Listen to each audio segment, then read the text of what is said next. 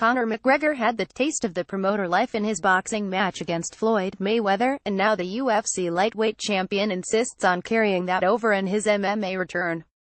During a QA session prior to the debut of his biopic Notorious, McGregor said he will not enter the octagon again unless the UFC allows him to co-promote events he headlines.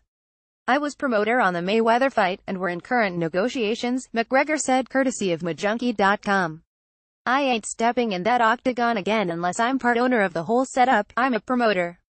While McGregor Sports and Entertainment was prominently displayed in ads, banners and inside the ring in August's blockbuster boxing match against Mayweather, McGregor's freshly formed company was not listed in official promoter for the historic event.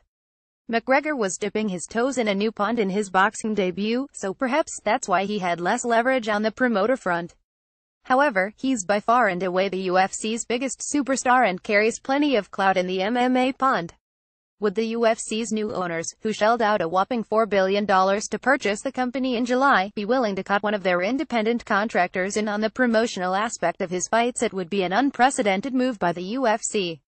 Then again, they've never had another athlete as box office as McGregor, who appears to be rewriting the rules as he goes. One thing is clear, McGregor, who banked a guaranteed $30 million off Mayweather and claims he could clear $100 million if the pay-per-view performed as expected, is in no rush to jump back in the cage until his terms are met.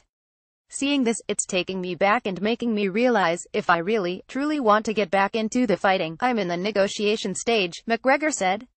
Everyone's trying to get me to do something for money, and that's all the way up, and all the way down. That's from the fight game, that's talk, that's what they're trying to do. They're trying to get me back before the end of the year to make the company money so they can reserve us the debt after the big $4.2 billion sale and all this bollocks, and I'm sitting there watching them type of wars I came through, back to back to back, and watching how I got there, and I'm like, I need to take my time here. I'm in no hurry. I'm in a great position. I'm in the forever money stage now. My money is up there rattling around in the money counter machine, so I'm good. Prior to fighting Mayweather, McGregor and UFC President Dana White both expected for him to defend his lightweight title before year's end. That's clearly not happening at this point.